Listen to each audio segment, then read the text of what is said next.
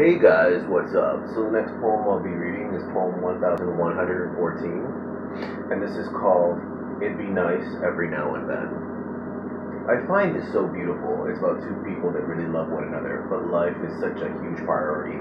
Family, work, talent, friends, the future, and sometimes the time goes so fast, especially when we fill it up with this.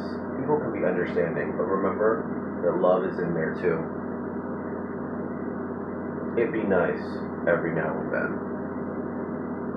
I remember when we first met, how everything just fell into place. The things you did to impress me, they were so sweet. That was one of the many things I loved about you, the way you went out of the way. Thought the chivalry was dead, but you showed me that some people do still mock me, and that some promises can be kept.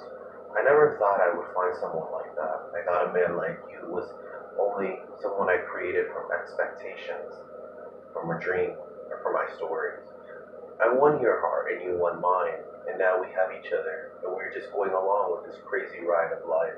But it'd be nice every now and then to bring some of that romance back. To hear that you think I'm beautiful, or that you love me more than anything in this world, like you did before, because I still do. And I've been guilty of the absence. It's not that it's fading, it's just that every day is getting between. You had your friends over yesterday. You were busy with family. I get it. You've been studying really hard because you want to get that degree. I've been doing a lot of writing lately too. You of course come to mind. I love the cute little text you spontaneously send. But I want more. Sometimes I like to go walking or the gym and it's not really your thing. Sometimes I like reading the book and you like watching videos on YouTube. Sometimes you like that show. But I love that horror movie, the one you cover your eyes with. Who knows if it's the differences or whatever, but there are so many things that I miss, baby. Remember how beautiful it felt when I won your heart and you won mine?